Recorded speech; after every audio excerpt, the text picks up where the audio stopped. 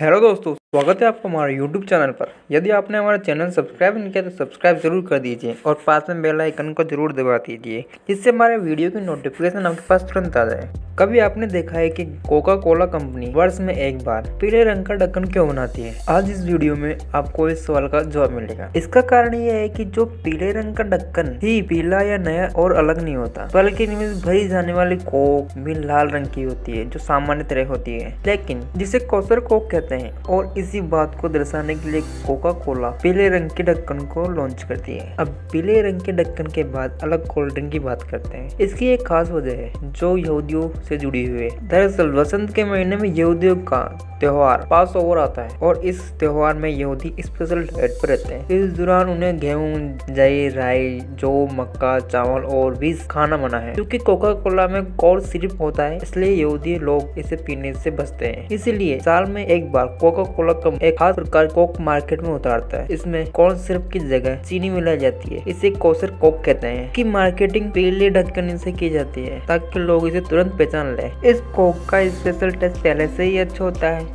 और दूसरा, इसमें फैक्ट्रोज की मात्रा कम होती है। इसलिए जैसे ही मार्केट में आती है तो कुछ लोग भारी मात्रा में इसे खरीद लेते हैं। इसका दाम भी नॉर्मल कोका कोला जितना ही होता है। बस इसी कारण के चलते कोका कोला वसंत के महीने में नई कोसर कोक पीले रंग की बोतल मार्केट में लाती है। Thanks for watching this video